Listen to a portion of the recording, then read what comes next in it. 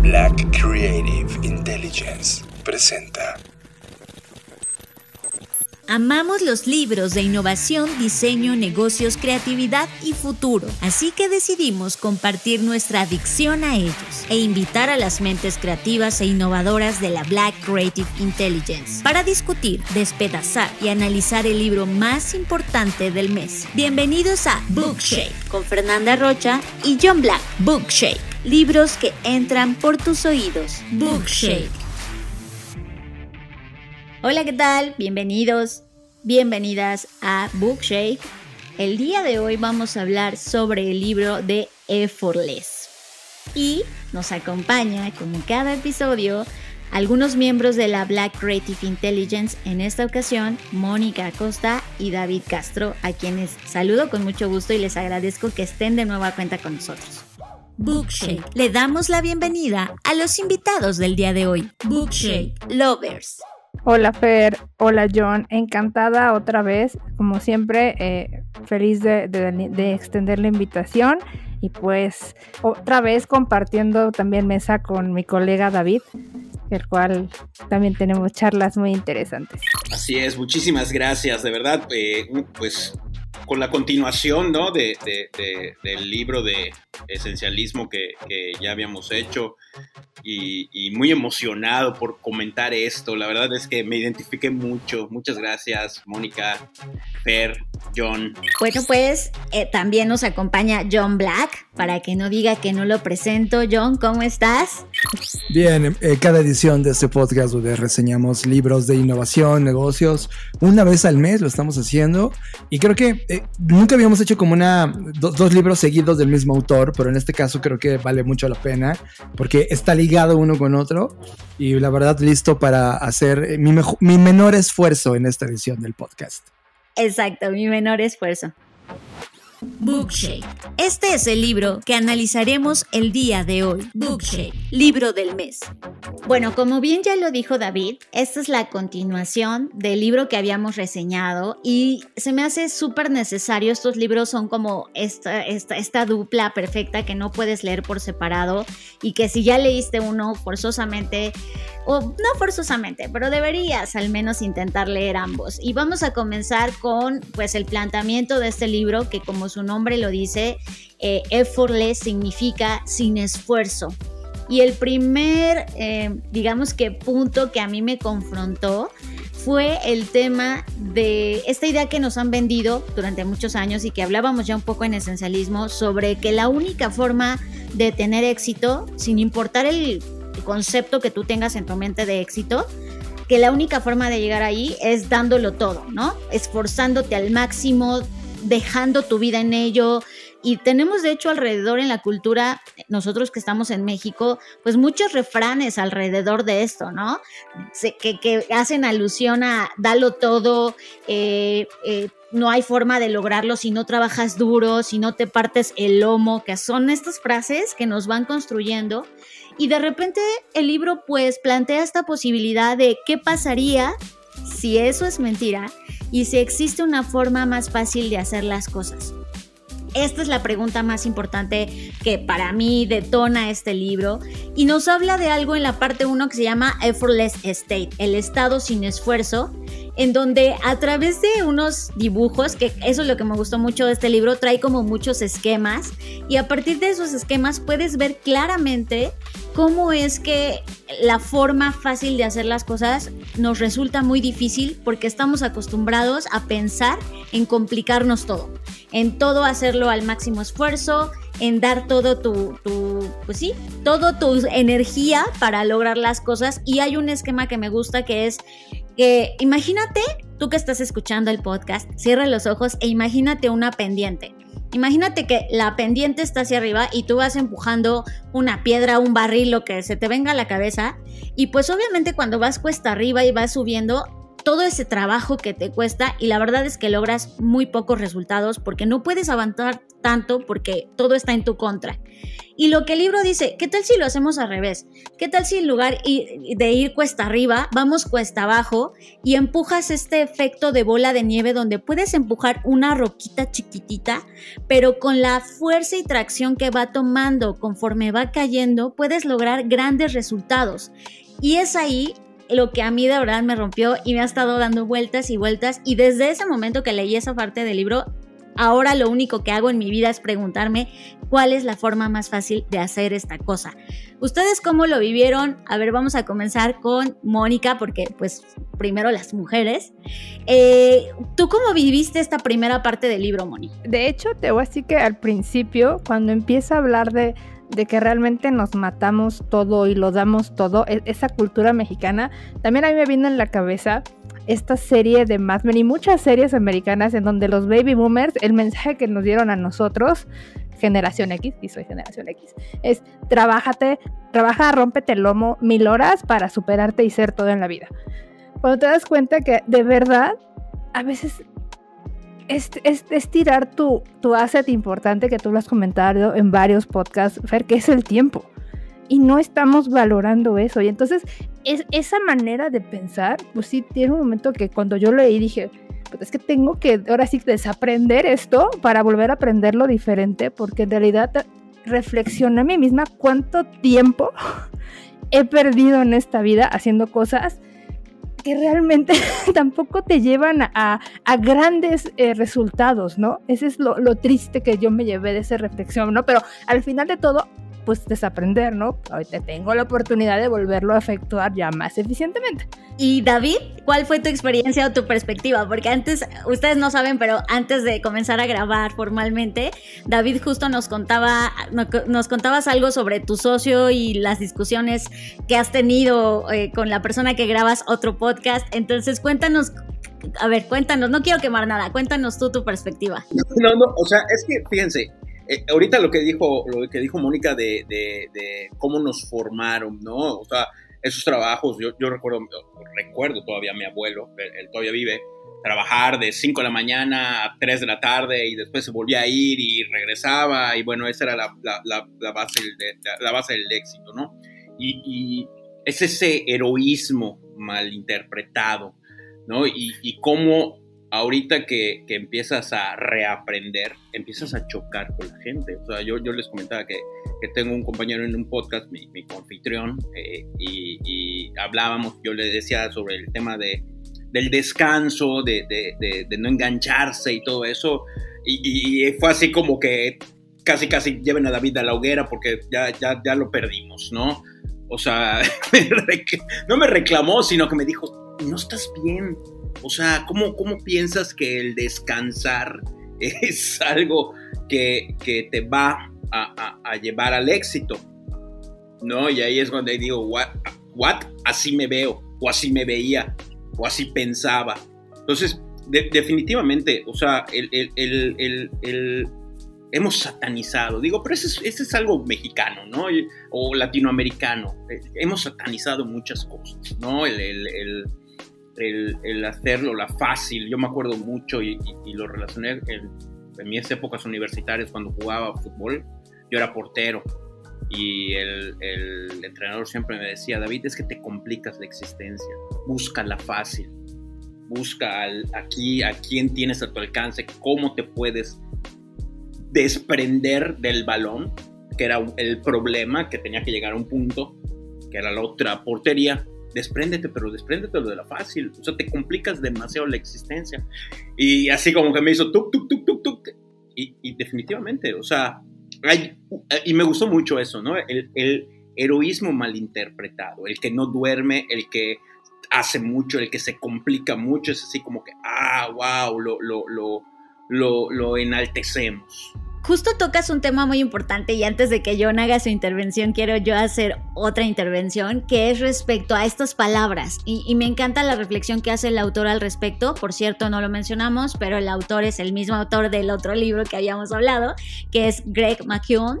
Y esto que dice sobre que lo fácil está satanizado. Y, y sí, pone frases que son grandes ejemplos como el dinero fácil. El dinero fácil, tú lo piensas y al menos en México es narcotráfico, ¿no? O algo ilícito.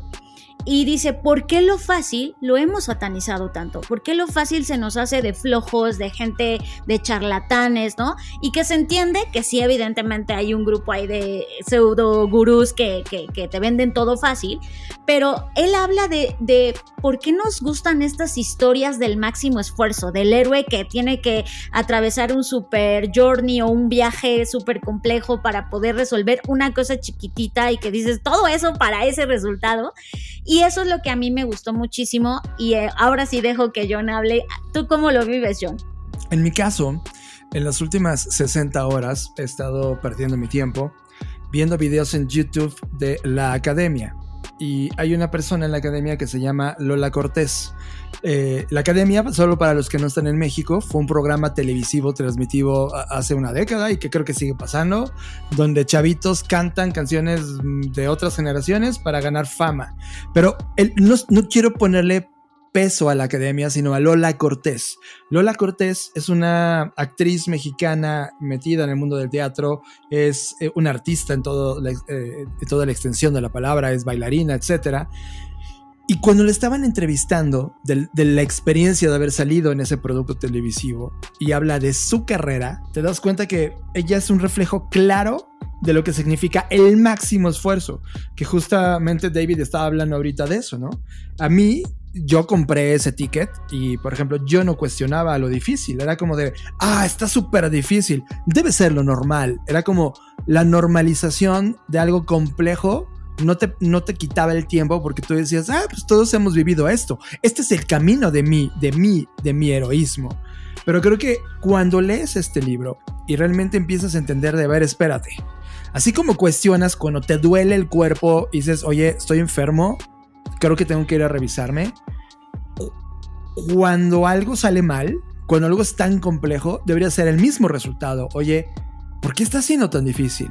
Y creo que hemos comprado que el éxito solo te lo puedes ganar eh, dando este máximo esfuerzo, este, este cuando todo sale mal y en el último instante ganas.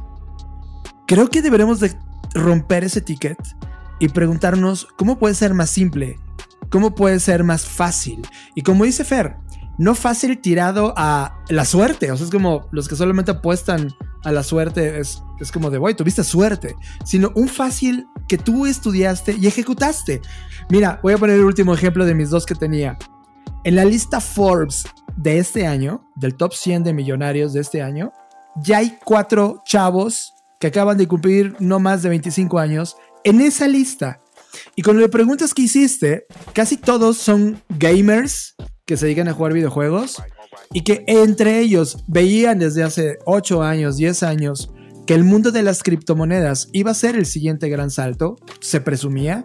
Compraron 100 bitcoins cuando costaban un dólar y hoy son billonarios.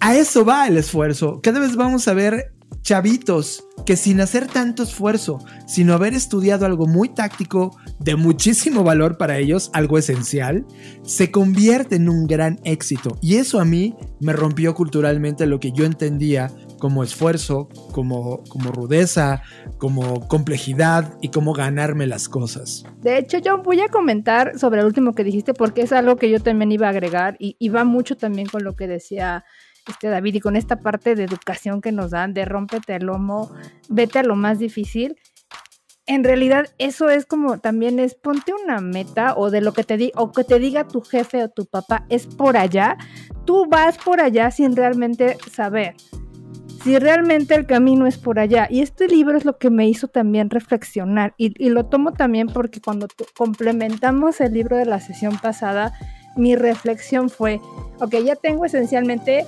un montón de cosas que sí quiero hacer y ahora resulta que no tengo tiempo, ¿no? Y tampoco me quiero romper el lomo.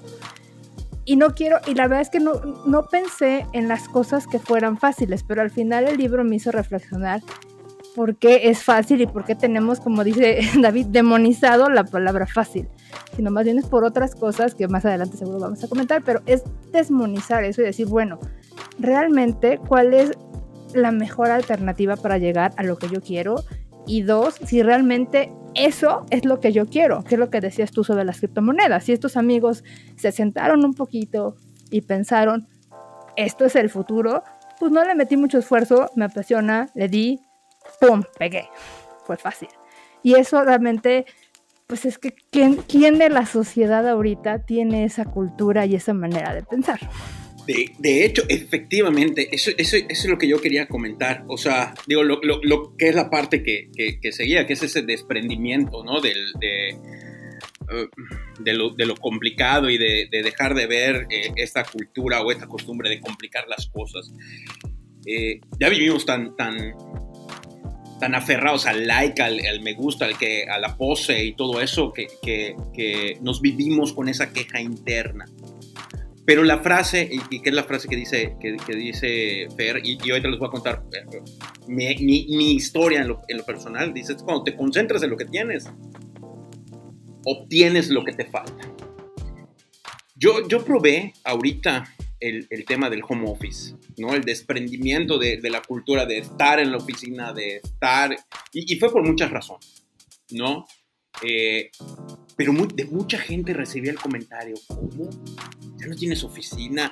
Y lo veían así como, o, lo ven como, mm, estás fracasando, mm, algo, algo, algo estás haciendo mal, mm, seguramente te está yendo mal. Y, fue cuando llegó este momento de hacer, para analizar todo este, el, libro, al autor, que inclusive yo me metí a, ver entrevistas que él hace cuando presenta el libro. Y, digo, a ver, hoy estoy más concentrado en lo que hago, más que nunca. Más que cuando he estado en N cantidad de oficinas o en espacios específicos de trabajo. Hoy siento que me rinde más el día y soy más productivo la verdad es que lo agradezco. Agradezco el que me haya pasado lo que me pasó para que yo tome la decisión de separarme de algo material. Muchos lo ven desde otra perspectiva, ¿no? Porque es un símbolo. Siempre, o sea, simbolizamos muchas cosas, ¿no? Es ese simbolismo. Pero el hecho de haber soltado esto y hoy me siento todavía más productivo, más concentrado, disfruto más, eh, eh, o sea, tengo más productividad que cuando yo estaba encerrado en una oficina. Lo agradezco y lo agradezco bastante. Estás escuchando Bookshake con Fernanda Rocha y John Black, libros que entran por tus oídos. Bookshake. Y que creo que eso al final lo vas a traducir en, otra energía que se va a reflejar en otras áreas, ¿no? O sea, tu salud, eh, los viajes que haces, los libros que compras, probablemente la forma en cómo te desplazas. Yo tengo, yo tengo un ejercicio personal que no viene en el libro y que es un ejemplo claro de esto. Y le digo el ejemplo de los hielos. Cada uno de nosotros tiene un refrigerador y una hielera que todo el tiempo está conectada a Internet. ¿Qué pasaría si todos los días le dedicaras tres minutos a sacar los hielos y meterlos en una cubetita y volver a poner agua para que se, vuelvan a congelar algunos más? Resulta que en una semana probablemente ya vas a tener una bolsa llena de hielos, una cubeta llena de hielos. Y si pasas cuatro semanas, puedes hacer una fiesta. El problema es que cuando estamos haciendo una fiesta y dices, guay, solamente tengo cuatro hielos. El esfuerzo de conseguir 100 hielos es enorme. Entonces es como, no te queda de otra más que comprar una bolsota de hielos. Pero tú, tú ya tenías esa energía para tener esos hielos ahí guardados para tu fiesta. Eso es lo que no se da cuenta la gente. Este pequeño avancito día a día, gradual, que tú decías, ay, nada, ¿qué me va a quitar tres minutos? Al final termina en una riqueza. Es decir, llegaste al mismo resultado de quien se esforzó por conseguir la bolsa de hielos y pagar tanto dinero por ella, cuando tú ya tenías una máquina que ya estaba consumiendo energía, no te costó más más que estos tres minutos diarios. Eso lo llevo a algo que va a pasar, por ejemplo, en el 2022 para nosotros en Blackbot. Nosotros queremos en nuestro laboratorio personal entender todo, absolutamente todo, sobre las criptomonedas, sobre blockchain. ¿Sabes qué vamos a hacer? Todos los días vamos a dedicarle 5 minutos, probablemente 10, 15 tal vez, a entender una nueva moneda para jugar con ella y comprar una unidad todos los días. De tal manera que al final del año vamos a cerrar con 365 unidades almacenadas de muchos proyectos de divisa digital. Que probablemente en 20 años, esto que empujamos ahorita, así un esfuerzo pequeñito, esas divisas, puede que se conviertan en una energía. Ojo, no estamos tirándolo al azar, sino estamos tirándolo a, oye, la energía que ya tienes, lo que tú ya tienes, puede con este pequeño salto residual ser una gran fuerza en el, paso del tiempo. Creo que ahí es donde el ejemplo de complejidad, de, la complejidad con la simplicidad, se vuelve claro con este libro. Y voy a leer textual y con eso dejo a Moni. Creemos, esto lo dice el autor, creemos que para tener un éxito extraordinario tenemos que hacer las cosas que son difíciles y complicadas. En cambio, podemos buscar oportunidades que sean muy valiosas sencillas y fáciles. Y creo que cada uno de nosotros, en nuestro estilo de vida y en nuestra singularidad, necesita encontrar cuáles son estas cosas valiosas, sencillas y fáciles. De, hecho, eso que dices, John, tiene todo sentido. Y la verdad es que cuando yo estaba leyendo ese capítulo del libro, porque me llamó mucho la atención la frase de slow is smooth, smooth is fast. Hasta, hasta tuve que reírla porque dije, a ver, ¿cómo? ¿En serio? porque no estamos acostumbrados a eso. Y, luego me, empecé a acordar también cuando te decía la gente, oye, quiere, y te lo dice la gente con consejos incluso de time management. Quiere realmente aprovechar tu tiempo, planifícalo. Ponte una meta, porque eso también lo menciona George en el libro, nunca menos de X, nunca más de Y, porque si nunca la vas a terminar a hacer. Y dedícale un poquito tiempo y se te va a hacer menos pesado. Además, como en ese poquito de tiempo te vas a enfocar, estás motivado, vas a aprender o vas a hacer esta tarea o esa actividad que quieres hacer. Y cuando termines ese tiempo dices, ah, ok, yo me voy a pasar a la que sigue. Y suena muy... La verdad es que a veces sí suena es que no es cierto. Pero es que en realidad es cierto. O sea, yo lo probé y dije, voy a dedicar a hacer una hora y media de esta actividad. No acabo, está bien, no acabé me voy a la otra, pero ya no me voy a desgastar más porque de hecho eso es cierto, también lo comento en el libro, yo también lo viví y lo quiero externar. Cuando pasa determinado tiempo tu energía empieza a bajar, ya no eres productivo y entonces ¿qué pasa? Estás perdiendo el tiempo. Entonces es la mejor, es la mejor receta. Totalmente. Y aquí es donde pasamos a la parte 2, que la parte 2 se llama effortless action, que es acción sin esfuerzo.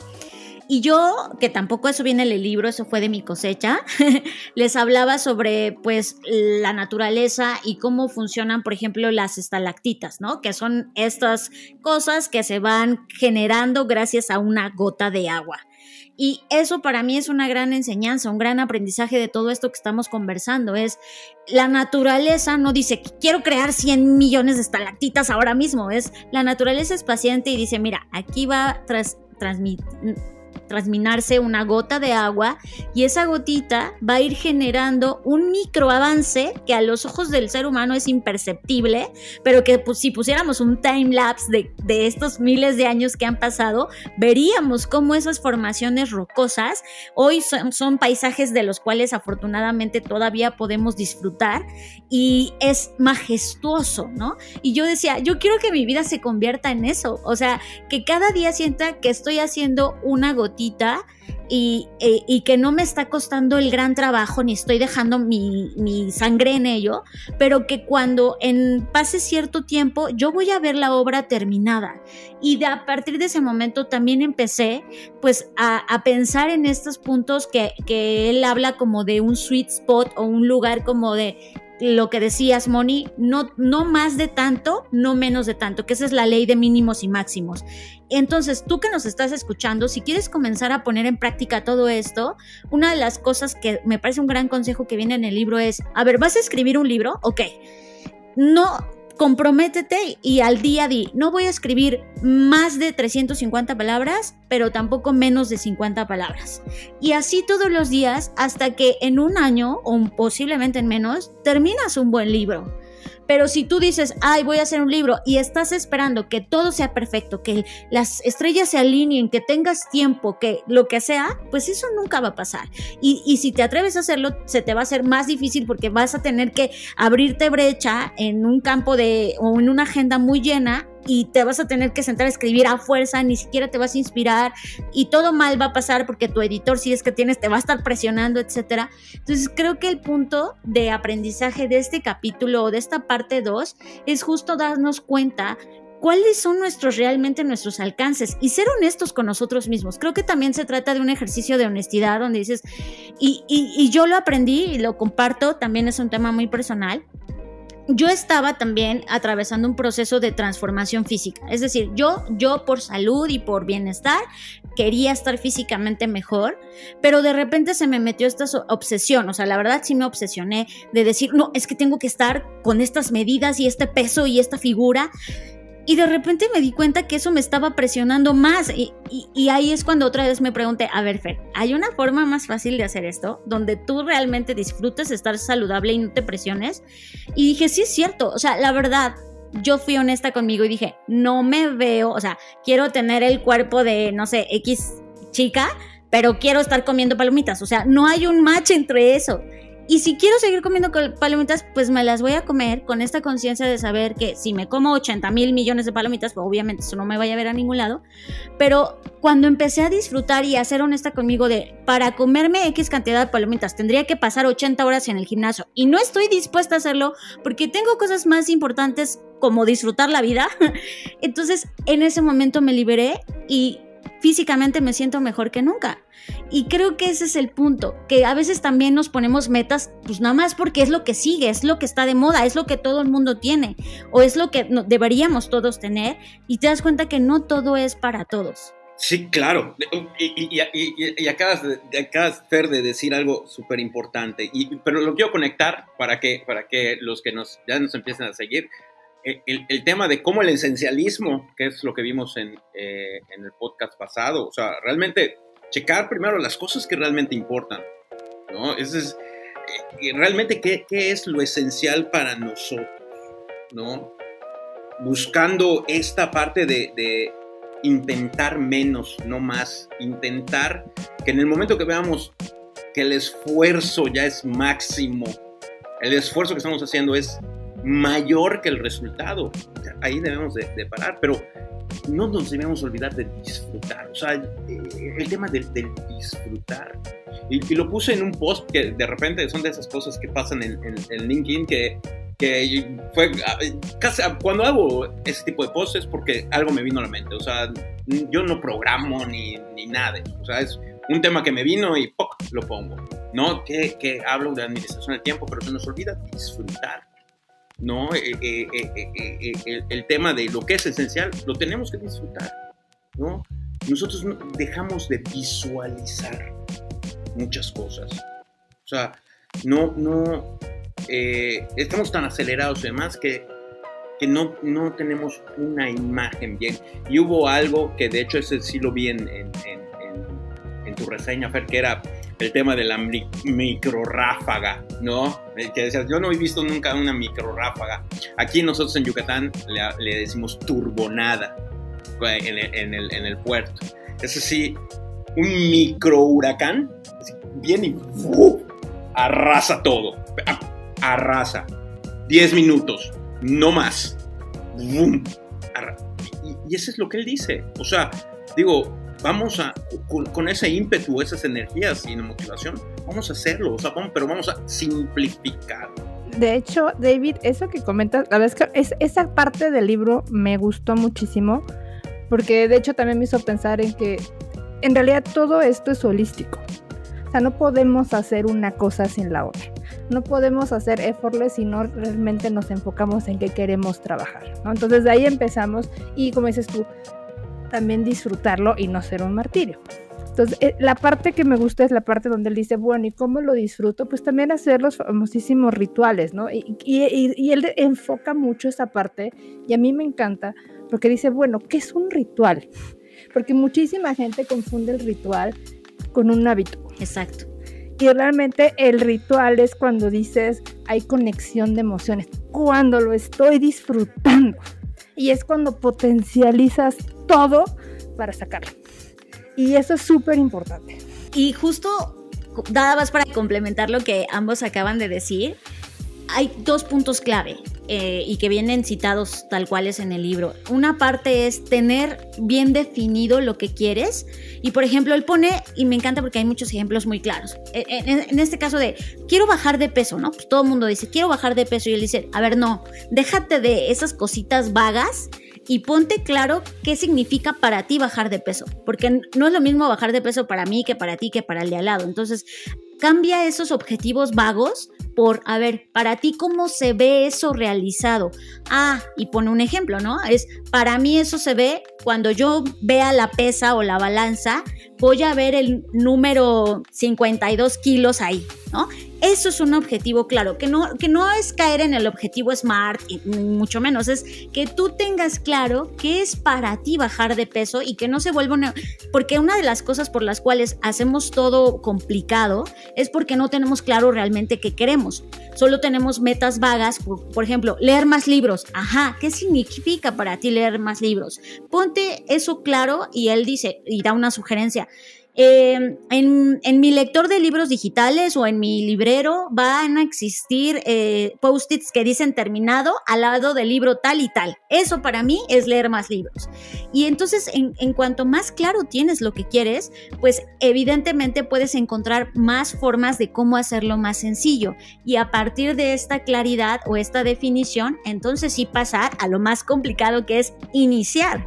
Y ahí es donde habla que David eh, se anticipaba un poco a esto de las micro ráfagas o micro bursts, como vienen en el libro en inglés. Y estas micro ráfagas de, a ver, por ejemplo, piensa que una de tus cosas esenciales es limpiar el desorden que tienes en el garage, en tu casa, en tu cuarto, lo que sea, ¿no? Y dice, la primera acción obvia es encuentra una escoba. Deja de darle vueltas a decir, no, es que no escribo un libro porque, híjole, no, es bien difícil. Dice, a ver, déjate de eso y escribe el índice, escribe las primeras 50 palabras. Esa es la primera acción obvia, es atrévete a hacerlo. Y luego haz una micro ráfaga, que es mucho, mucha intensidad, pero en corto tiempo, que eso sería como en el ejercicio de los sprints, ¿no? Es como, ok, en este mismo ejemplo de que tienes un desorden, tu primer acto obvio es encuentra la escoba y la microrafa sería barre todo y saca toda la basura. ¿No? Y eso me encantó porque dije, sí es cierto. Y además eso le quita un poco lo aburrido a, cosas que sin duda duda siempre va a haber cosas tediosas. O sea, siempre va a haber algo que no quieras hacer, pero pues que ni modo lo tienes que hacer. Entonces creo que esa parte de las micro ráfagas es muy importante y muy efectiva. Yo lo he empezado a hacer, de repente digo, bueno, 10 minutos a esto rápido, así me voy a ir duro y lo resuelvo y me queda tiempo libre para todo lo demás. Es que sabes que, Fer, esas micro ráfagas está en plural, ¿no? O sea, es como una constante. Eh, cuando un equipo no es de estas micro ráfagas, tiene que hacer un esfuerzo brutal. Como dice en la reseña, buscamos progreso, no, por, no, no, no perfección define mucho esto, por una razón. Cuando hablas de progreso es porque estás haciendo estas mini ráfagas, pero son constantes, llevan un... Si no, no es un orden exacto, si ocurre una vez a la semana o una vez varias veces en el día. Los que hacen una sola vez tienen que hacer un mega esfuerzo una sola vez y luego meses de nada. Entonces no, no pueden no ser perfectas porque el rango del tiempo entre una ejecución y la otra es tan grande que no les permiten estar avanzando de poco en poco, haciendo estos progresos pequeños, pero no perfectos. Creo que el mundo tradicional, la palabra perfección, creo que se le intentó bordar con sangre así de, hacemos las cosas perfectas. No existe el mundo de la perfección. Naturalmente el mundo está evolucionando todo el tiempo a velocidades cada vez más rápidas. Entonces la única manera de poder hacer un progreso es a través de estos saltos constantes, no obsesivos todo el tiempo a velocidad infernal, como de repente se puede leer estas mini ráfagas, porque no tampoco alcanzas el ritmo, pero sí estos saltos bien hechos cada vez que haces un salto. Y eso creo que eso, eso genera mucho más progreso y avance que una sola ejecución macro. Y eso a mí me, a mí me, me encanta porque a mí me encanta como dar estos mini shots a cosas y cuando pasan 10 meses y sigo y fui constante, te das cuenta que la suma de todo lo ganado es enorme a solo hacerlo una vez y desvelándote dos meses y luego agarrando tu proyecto y fracasando, etcétera. me gusta esta, esta forma de entender el progreso. De, de, hecho, John y, y, Fer me hicieron pensar en dos cosas y ahorita reflexioné. La primera es, por ejemplo, y voy a poner la parte, la parte de la parte del ejercicio y de la báscula, porque yo también he pasado por eso que pasa Fer, ¿no? A veces que ponerte algo objetivo, no perfecto, e, eso que dices tú es súper claro. O sea, porque dices, oye, quiero verme con cuerpo de bikini de aquí hasta diciembre. O sea, vamos a ser realistas, incluso te estás autosaboteando y vas a sufrir. Entonces, no. Ponte un objetivo simple. Quiero perder dos kilos o tres kilos en un mes. Y entonces voy a decidir hacer ejercicio 20 minutos. No más. No me quiero. Una hora de gimnasio, honestamente, es inútil. Y voy a comer sano. Entonces, cuando hago el ejercicio me voy a sentir motivada porque yo sé que en tres semanas quiero cumplir mi objetivo. Y entonces además lo empiezo a convertir en un ritual y en un hábito y me empiezo a emocionar. ¿Y qué va a pasar en tres semanas? A lo mejor no perdí todos los kilos que yo quería, pero seguro sí hay un progreso. Y eso te mantiene motivado.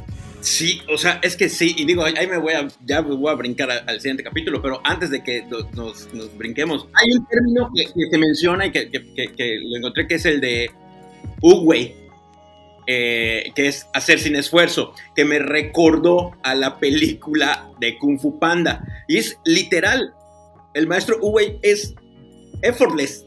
O sea, él te dice, a ver, relajado. Y a todos los de las películas dice, a ver, relajados. O sea, del durazno no vas a sacar peras ni manzanas, vas a sacar duraznos, pero tiene que crecer, tienes que llevar el proceso. O sea, y es ahí donde ya me voy a adelantar con, con el tema de, de, de, los ritmos, ¿no? El, el, el, tema de lo que decía Moni y Fer, el, el slow is smooth, smooth is fast. O sea, vamos a, y, y creo que todo va mucho al tema de empezar a disfrutar esto. ¿No? Empezar a disfrutar lo que hacemos, empezar a disfrutar este bajar de peso, empezar el, el yo siempre digo, a ver, del 1 al 10 hay, un, hay, hay tantas cantidades de, de cifras, pero del 1 al 2 hay también un número de cifras. El hecho de que hoy yo llegue del 1 al 1.1, lo debemos de super celebrar. O sea, porque es, es, es, es ese borrador que tenemos que, que, escribir, ¿no? O sea, es, un, es mi índice, hoy es mi índice, debemos de disfrutar. Justo esta frase, y la vamos a retomar, que es slow is smooth, perdón, slow is smooth, smooth is fast, significa que cuando vas más lento, las cosas son más suaves. Y cuando las cosas son más suaves, puedes moverte más rápido. ¿Por qué? A ver, vamos a defragmentar un poco esta frase porque a mí también me costó, como dices Moni, trabajo entenderla, no por la frase per se, sino porque estamos tan acostumbrados a todo lo contrario que esto es como contraproducente, ¿no? A ver, dice esto porque es, en un mundo tan acelerado, lo mejor que puedes hacer es como que frenar, y es un poco lo que hacían en Matrix, ¿no? ¿Se acuerdan que de repente como que ellos lograban alterar el tiempo? Y, lo primero que se me vino a la mente cuando leí esa frase fue eso, es como, claro, ellos tenían la capacidad de ver las cosas en cámara lenta y al observarlas en cámara lenta, entonces podían anticiparse a los movimientos de la, del otro que estaban ahí peleando. Y, pensé, eso es la vida, o sea, si tú te dejas llevar con la corriente a la velocidad que todo va y vas ahí como arrastrando, dejándote arrastrar porque ya ni siquiera vas disfrutando el viaje, sino solo todo el mundo te va empujando, vas a perder visibilidad de cosas que realmente son esenciales y que te podrían hacer el camino más sencillo. Entonces, por un lado es, date tiempo de desacelerar, no siempre tienes que ir así de ya todo rápido, ¿no? Y la otra parte, o la contraparte de la frase donde dice smooth is fast, cuando ya logras ver el panorama completo y tienes esta fotografía y te diste el tiempo de visualizar todo el contexto y el panorama, entonces vas a poder tomar ventaja, porque vas a ver todas las cosas que los demás no estaban viendo y vas a poder tomar atajos y vas a poder... Y ahora que he estado jugando mucho Nintendo Switch y que he estado jugando Mario Kart, me di cuenta de eso en el juego, porque me di cuenta que cuando yo salía disparada con todos los monitos que te empiezan a aventar cosas, pues no me daba tiempo de ver el camino, entonces chocaba, me, de, me salía por otro lado que no era.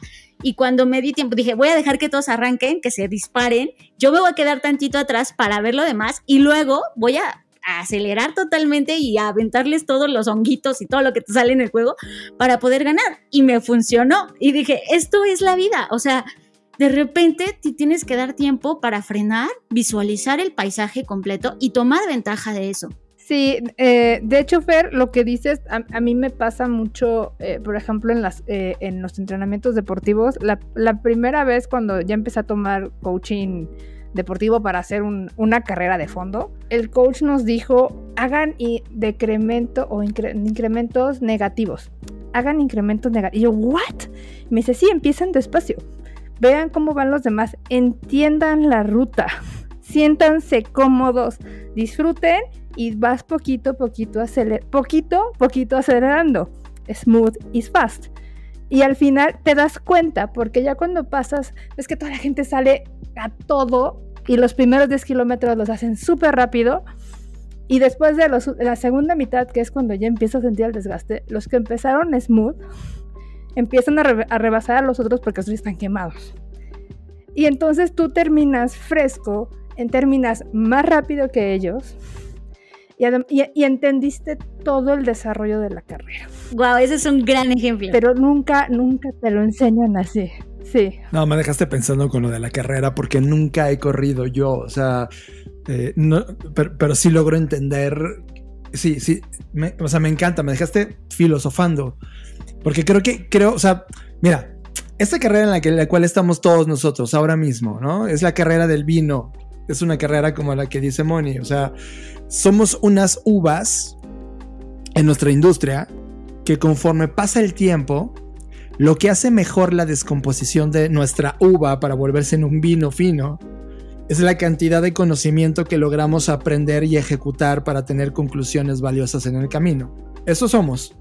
Si tú comparas nuestra carrera contra la carrera de un sprint tipo este, gimnasta de las Olimpiadas, pues esos seres humanos tienen 10 o 15 años de carrera, por eso tienen que iniciar a los 5 o 6 años y a los 28 o 30 están despidiéndose de su carrera, cuando nosotros apenas estamos empezando a entretejer. O sea, tú puedes tener una carrera longeva a los 70 años si quieres, y cada día que pasa vas a valer más de lo que valías ayer justamente por esta capacidad de, slow que tenemos. Y no es de que estemos parados, todos los días hacemos un, salto, leemos un libro nuevo. Para eso creamos Bookshake, como una manera de presionarnos creativamente para leer cosas, para cuestionarnos cosas, para chocar, que si lo hacíamos solos y nadie nos presionábamos en el buen sentido de la palabra a, a nuestra carrera corta.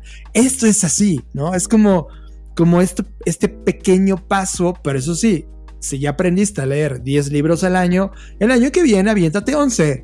Y luego dentro de 5 años vas a leer, te das cuenta, 10 veces más de lo que leías 10 años atrás.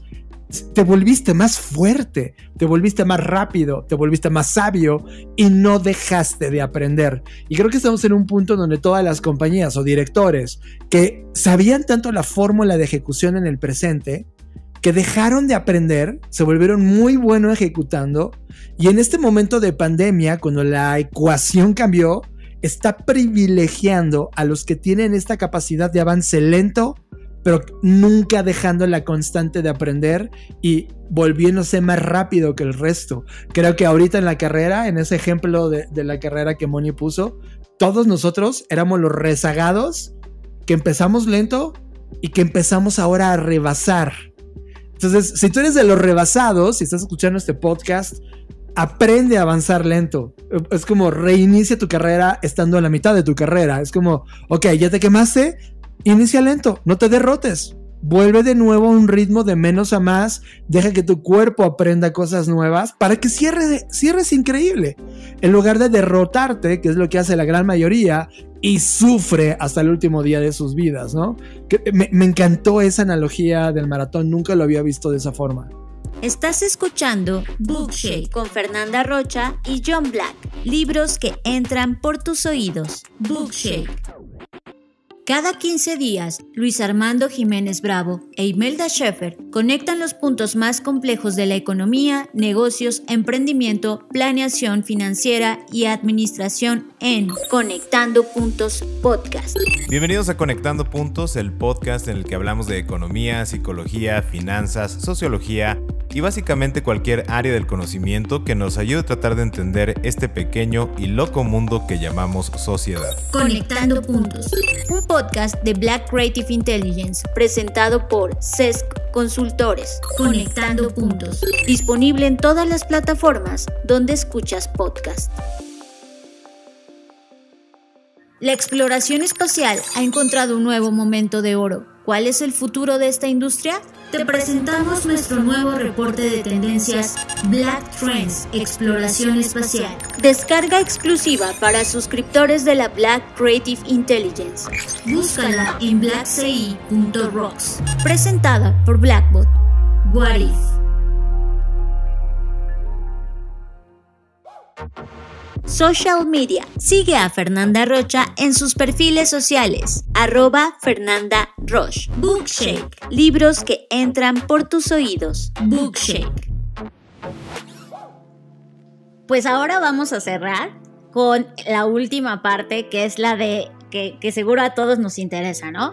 el effortless results o los resultados sin esfuerzo y aquí es donde se valida si realmente esto que estamos diciendo va a funcionar o no o solo estamos avanzando de poquito y no vamos a llegar a ningún lado, que para mí eso era importante. Y aquí es donde habla el autor de los resultados residuales contra los resultados lineales, que engloba muy bien todo lo que hemos dicho, el ejemplo de la carrera de fondo que ponía Moni, el ejemplo que decía David, el ejemplo que puse yo es, a ver, los resultados residuales son aquellos que son pequeñitos, pero que van en una curva como una curva ascendente constante todo el tiempo creciendo hacia arriba. Y los resultados lineales son aquellos que siempre te van a dar el mismo resultado, es decir, tú, tú pones un peso de energía o un peso de esfuerzo o como le quieras llamar y vas a obtener un peso de vuelta. Siempre, siempre, siempre, siempre. Los resultados residuales es tú pones ese peso pero cada vez ese peso te va a regresar de vuelta dos pesos, luego tres, luego cuatro, luego cinco y así de manera totalmente incremental. Y eso a mí me llamó totalmente la atención porque dije, sí, por supuesto. Por ejemplo, esto que estamos haciendo, el podcast que hacemos, este Bookshake o el podcast de Creative Talks, lo hacemos como si fuera esta gotita, este paso, este microavance, porque así se puede ver, es como una hora a la semana, es un microavance, pero que hoy ya llevamos, en el caso de Creative Talks, 153 episodios y en este ya llevamos, es, vamos por el cuarto. Y parece que vamos avanzando bien lentito de uno en uno, porque, ojo, nuestra meta son, siempre dijimos, los primeros mil, ese es nuestro objetivo, falta un montón, pero en esa carrera ya llevamos avanzado, cuando lleguemos a esa meta, los resultados incrementales que el podcast ha tenido en cuanto a los contactos, los negocios que han llegado, las personas que hemos conocido, eh, que un día incluso estamos sin esfuerzo, porque nosotros ahora trabajamos de lunes a jueves y los viernes estamos haciendo todo menos trabajar, pues nos llegan noticias de que, ay, este negocio eh, en Bolivia nos están buscando. ¿Y cómo es que llegaron a nosotros? Bueno, es que escuchamos el podcast. Y dije, claro, esos son los resultados incrementales. Eh, cuando tú comienzas a ser constante y consistente y de repente a lo mejor no ves los números, no ves, o sea, como que a veces te llega, la verdad, te gana la frustración porque dices, pues la gente me estará escuchando o esto estará realmente llegando, etcétera. Y cuando vienes de vuelta, te das cuenta que sí. Y pone ejemplos, por ejemplo, del aprendizaje.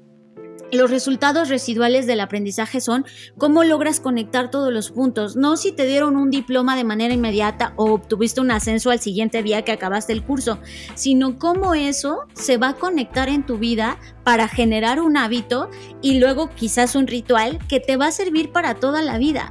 Y él justo habla de eso, el aprendizaje es este un gran ejemplo de un resultado residual no vas a obtener inmediatamente los resultados en todo lo que hagas. Y creo que también eso es algo que hay que desaprender. O sea, nos enseñan cómo es bajo este causa-efecto. Ah, pues invertí tres pesos, ¿por qué no tengo ya ahorita 80 millones? O, ah, es que hice este esfuerzo, ¿por qué no se me...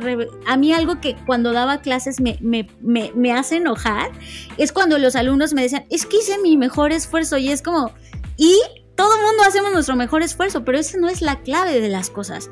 La clave es en qué te esfuerzas, en qué estás impregnando la energía y si eso realmente es esencial. Porque hay cosas, o sea, tú te puedes esforzar un montón en ver series, pero ¿eso qué? O sea, no es esencial, o a lo mejor hay para quien sí lo sea, ¿no? Eh, eh, entonces creo que ese es el punto de este, de este último capítulo, de que entendamos que no todos los resultados son inmediatos, que no todos los resultados son de velocidad, sino a veces, como decíamos, de resistencia, de cómo se va cocinando a fuego lento esto que llamamos vida. Sí, fíjate que a mí me pasó esto de, los resultados residuales, me pasó eh, un poquito antes del libro porque mi podcast de inversión, ¿no? Porque mi, el socio con el que estoy habla, el confitrión que estoy, habla, él es financiero y siempre me decía, mete tanto a tal plataforma, GBM, CETES y demás. Yo así como que no, me resistía. Pero me voy dando cuenta que poco a poquito es 100, 50, 100 y demás. Y solito va generando, va generando, va generando, va generando. Y el resultado residual que más me ha dejado es el tema del aprendizaje, ¿no?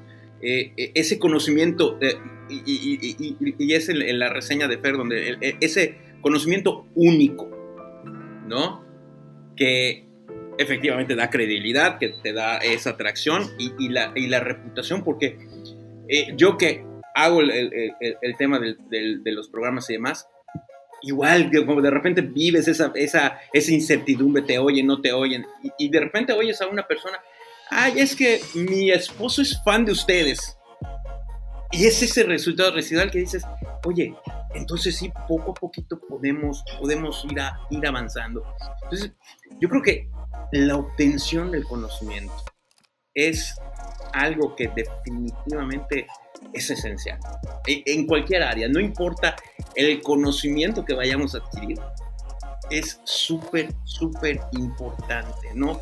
Porque eso te va a dar, te va además que te va a sumar a todo, te va a dar esa experiencia y te va a ayudar a escoger eso esencial a distinguir, más que escoger, a distinguir eso esencial para lograr esos resultados residuales en lo que tú en tu proyecto, ¿no? En tu en ese en ese borrador cero que vas a iniciar. Ahorita que dijiste, David, me, me hiciste reflexionar un montón porque yo a lo largo de, de, este año y medio que la pandemia me invitó a darme la oportunidad, y lo agradezco, de pensar cuáles iban a ser mis nuevos objetivos en la vida, empecé a dedicarle el tiempo, el tiempo que yo sentía que era necesario, corto, pero en pequeñas cosas. Y hoy un año y medio después, la verdad es que a veces te sorprende cuando, como dices tú, llega gente y me dice, oye, tú que estás metida en, temas de, de mujeres en tecnología, oye, tú que estás metida en innovación, oye, te veo súper bien en redes sociales, dices, güey, o sea, y el cómo le haces, ¿no? Porque también es cómo le haces para hacer todo lo que haces y además trabajar, ¿no? Porque sí, además soy Godín, ¿no? Me dicen que, que no duermes. Y en realidad eso me hizo reflexionar y dije, bueno, o sea, a lo mejor sí le dedico un poco más de tiempo, pero realmente sigo trabajando las ocho horas que tengo que trabajar, de trabajo natural, y cumplo con mis objetivos del trabajo, pero también es, eh, hago esa parte de objetivos pequeños y yo no me había dado cuenta. ¿No? Entonces, a ver, y lo, y lo disfruto. Y lo hago en cosas pequeñas y entonces es, ese, esas cosas, porque eso salió esta semana y ahorita que lo dijo David dije, es que sí es cierto. Pero es que tampoco no nos damos cuenta, es cuando así dices, entonces sí es el resultado. Pero sí tienes que ponerte cosas en qué te quieres enfocar algo que me comentaban en redes sociales esta semana era justo eso, ¿no? Y creo que es una pregunta constante, eh, eh, eh, al menos a nosotros nos la hacen muy seguido de, pero es que ¿cómo le hacen? Porque hacen esto y hacen otro. Y el otro día yo estaba reflexionando al respecto y dije, es que cada vez estoy haciendo más cosas que me gustan. O sea, hoy si alguien llega y me pregunta qué haces, es como, leo libros. Es lo que más he hecho este año. He leído todos los libros que he querido y hasta otros que a lo mejor no me imaginaba leer. Y dije, pues nadie creería, o sea, yo le cuento a mi Fer de hace 10 años y le, diría, oye, ¿qué crees que te van a pagar por leer todos los libros que tú quieres? diría, ¿cómo crees? ¿Qué trabajo es ese? ¿Dónde lo consigo? ¿No? Pero es justo porque me atreví y creo que ahí es donde viene también la valentía, porque no les vamos a mentir, no es como que, ay, esto fue bien fácil. La valentía de dejar ir cosas que te quitan el tiempo. Y esto implica cosas, personas, tareas y de renunciar a un montón de cosas. Pero cuando renuncias a esas cosas, y en el momento, pues obvio te da miedo porque dices, güey, ¿de qué voy a vivir? ¿Qué voy a hacer? Y ya no me van a conocer, ya no me van a querer hablar, ya no, todos los constructos y los miedos que nos atacan. Pero te das cuenta que si te atreves a dar el salto, que lo como dice el autor, si das ese primer paso, todo viene en un, un efecto concatenado, en cadena, donde las cosas comienzan a fluir, porque entonces como te estás dedicando o estás dedicando tu energía, tu tiempo a cosas que realmente son esenciales, lo disfrutas y ya no, ya no hay tiempo. O sea, te vuelves en un experto de decir, no a esto, no voy a estar en 80 conferencias, voy a estar en dos, pero son las más chingonas. Ok, no voy a ver 80 fiestas porque no, la verdad no me va a dejar, pero voy a ir una y me la voy a pasar bomba. O sea, creo que cuando logras hacer eso y te atreves a renunciar, porque esto es mucho de dejar ir, y superas ese miedo que implica dejar ir, logras que las cosas comiencen a conectarse y a enfocar tu energía en las cosas que realmente valen la pena, que son sin esfuerzo y que te van a retribuir estos resultados residuales. Aquí quiero comentar, eh, conectar algo que pasó en la semana y que costó trabajo.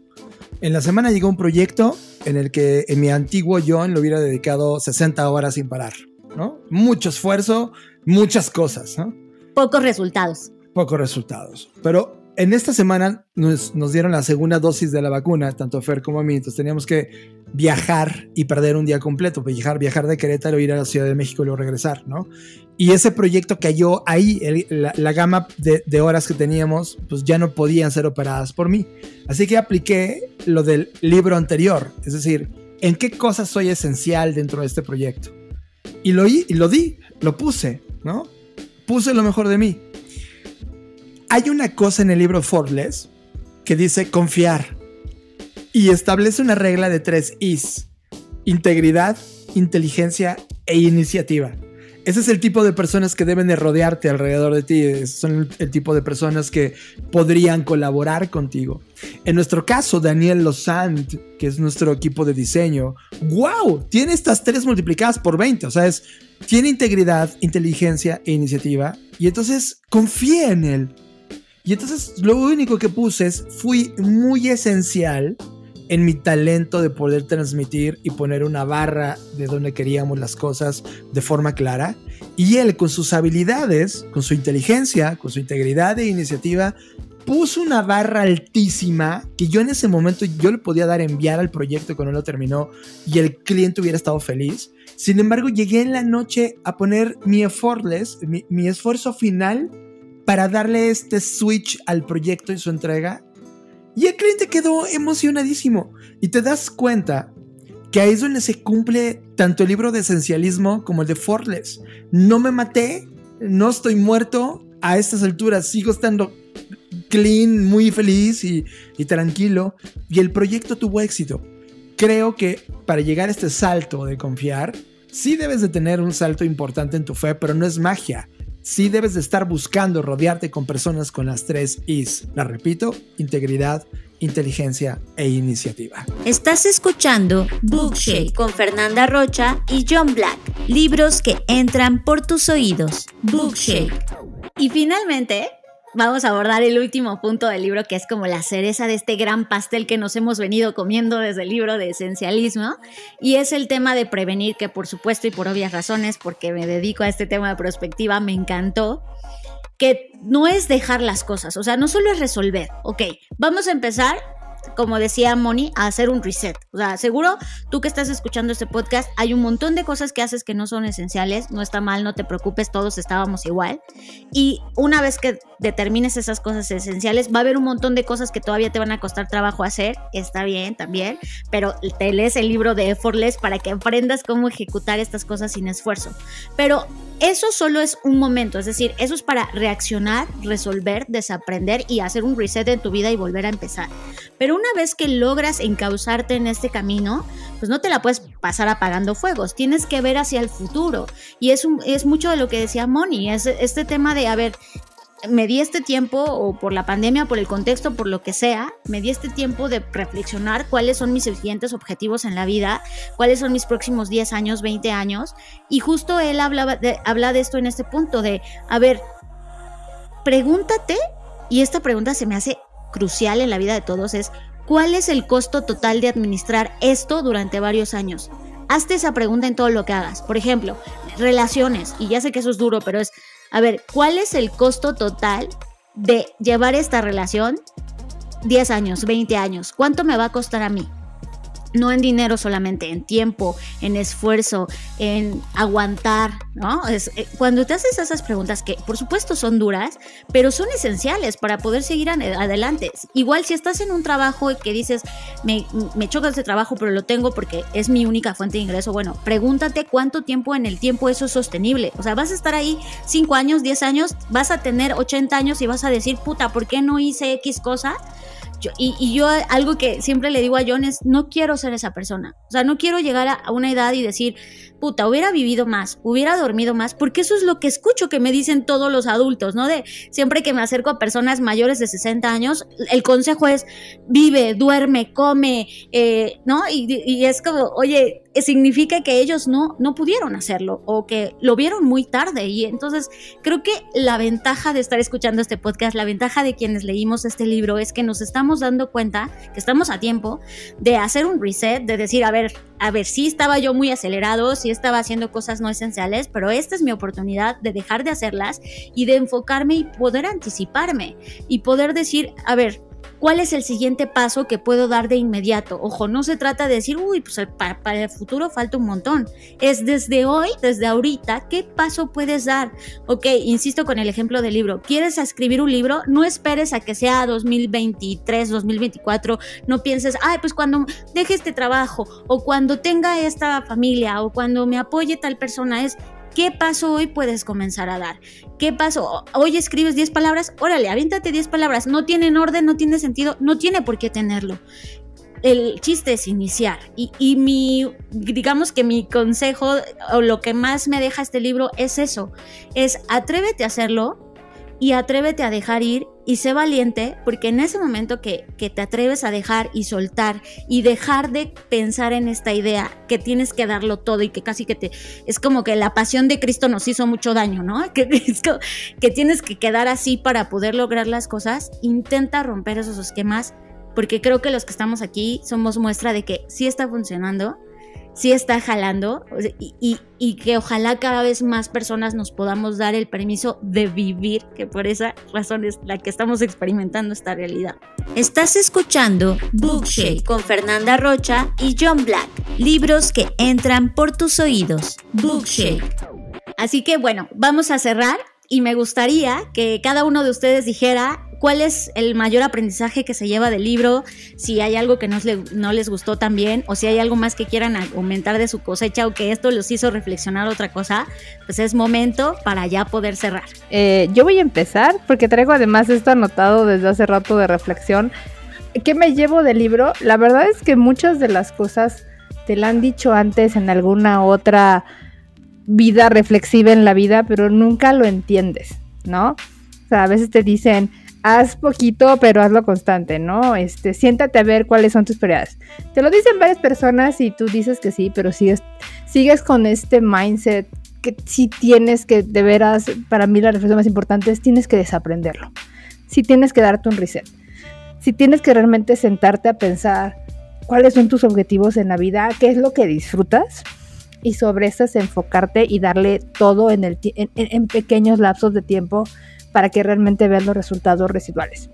Y la, y la parte técnica, geeky, que me llevé es que realmente esto es una filosofía lineal. O sea, yo no sé si los que inventaron la filosofía lineal ah, realmente hayan reflexionado en esto, pero realmente es así. O sea, el ser lean es un objetivo sencillo, que te va a llevar un, un corto de tiempo, que lo voy a disfrutar cuando lo voy a hacer, que no tiene que ser perfecto, pero va a llegar un progreso y que además lo puedo trabajar en equipo cuando estamos todos alineados a esa misma manera, como dice John, con tu equipo de trabajo que tiene las tres Is. Entonces, eso a mí, se, ahorita, que, ahorita que estaba reflexionando, se me hizo maravilloso porque en realidad si viéramos la vida lean y ágil, seríamos effortless. o sea, eso es lo que me llevo. Creo que lo, lo, mejor de un libro es cuando lo tratas de llevar a tu vida real y logras hacer match. En la semana me topé con un proyecto súper interesante llamado Minus, minus.social. Es una nueva red social en donde se hace un planteamiento de qué pasaría si solo tuvieras 100 posts para publicar en toda tu vida. ¿Qué publicarías? Hoy el status quo es sube, sube, esfuérzate, el mayor número de exposición, mayor número de fans. Todo es exactamente lo contrario este libro, ¿no? O sea, este libro es effortless. Esta red social es 100% effortless y me está llevando a un tema de aplicación en la vida real. Hoy me estoy cuestionando cuánto tiempo y qué tipo de esfuerzo necesito para, por ejemplo, estar en redes sociales. O sea, lo que comentaban ustedes de que ya comienzan a reconocerlos por la visibilidad que tienen en sus contenidos. Hay que preguntarnos a nosotros, ¿es effortless también esto? Yo lo quiero llevar a mi sentido más práctico. ¿En qué soy bueno? En el podcast y leyendo libros. Ya está. No puedo ponerme de stand-up comedy en un video. No voy a poder hacerlo. Me tengo que reconocer a mí mismo. Y cuando te das cuenta que te conoces, y luego eso que te conoces, potencias lo que sí eres. Y una vez que potencias eso que eres, le metes este pensamiento de effortless creo que puede ser totalmente esencialista y aportar el máximo de ti al máximo de valor posible intercambiable con las personas. Y eso aplica en todo. Entonces, creo que 2022 se va a tratar a mí a nivel particular, después de este libro, de cómo acciono al máximo el aprendizaje a mí, a mi vida, a mi contexto, de este aprendizaje de sin esfuerzo, y cada vez muchísimo más esencial. Fíjate que lo que, lo que, lo que, lo que acaba de decir tanto Mónica como John eh, era algo que yo iba a concluir, pero, pero a ver, yo, yo sí lo quiero llevar a, a, Nosotros estamos empezando, o, bueno, ya, ya, lo pluralicé, pero David está empezando. Eh, ese desaprendizaje va a doler. Ojo, ese, ese, ese, ese desaprendizaje va a doler. Y cuando te duele, es que estás yendo por buen camino. O sea, no, no es que nosotros, no es que David haya, eh, lo haya logrado, no. David está en, ese proceso de desaprendizaje. La cosa es, ya estoy consciente. Y, y, ahí es donde empieza a doler. ¿No? Porque no está, no, el, el, y lo voy a comparar con la dieta, el que te quiten dulces, el que te quiten helados, postres y demás, te empieza a doler, ese, ese desapego, el, todo, o todo desapego duele. Eh, y, ahí es donde tenemos que ser muy conscientes. La, la, conciencia de uno mismo, el autoconocimiento es lo más importante, es por donde tenemos que empezar. ¿no? Es, es, es un principio básico. Y otra cosa que, a mí en lo particular me deja mucho el, el, tema de, de, este libro es, y ya no lo alcanzamos a platicar, digo, el desafortunado de los tiempos, es el conocimiento, pero no egoísta, el enseñar, el entender que enseñar también te trae conocimiento. ¿No? Para mí, cuando me topo con gente que, que, que que se niega a, a, darte y me, ha pasado infinitas ocasiones ese egoísmo en compartir el conocimiento o, o, ¿cómo se llama? O de monetizar todo tipo de conocimiento. Ah, no, no, no, no va conmigo, ¿no?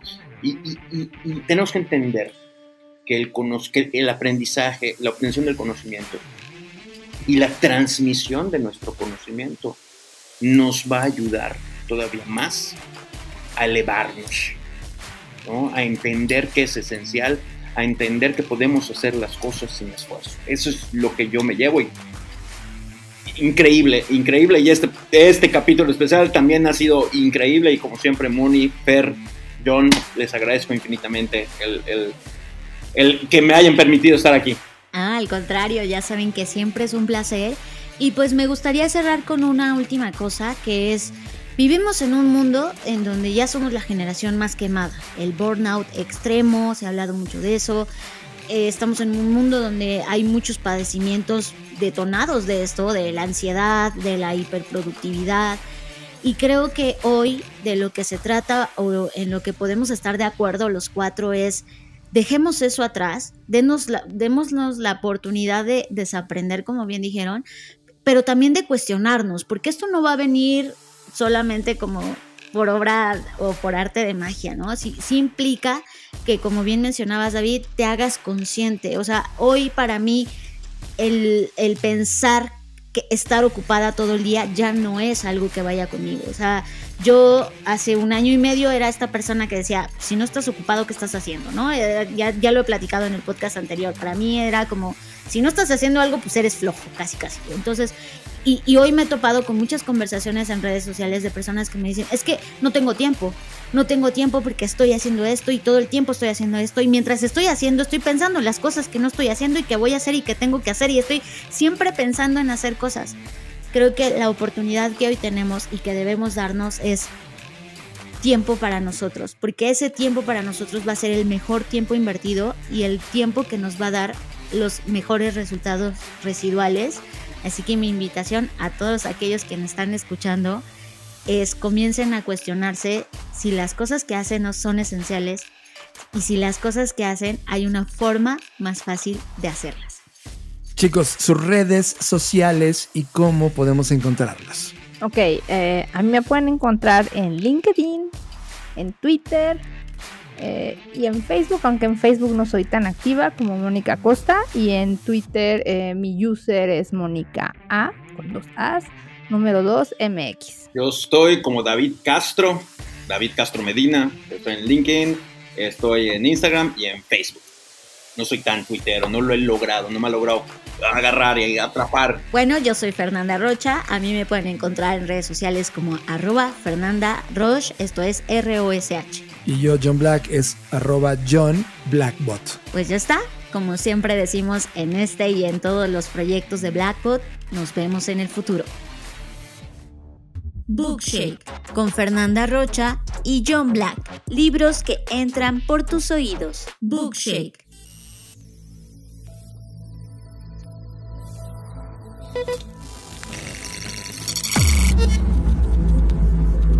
Black Creative Intelligence presenta